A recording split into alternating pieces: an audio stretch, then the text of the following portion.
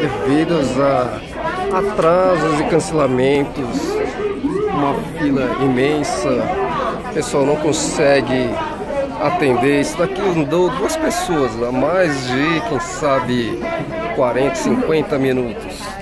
E veja que uma cortesia pela sua espera. O pessoal já tem até coisa para dar para espera. Eles sabem que vão, vão, atrasar.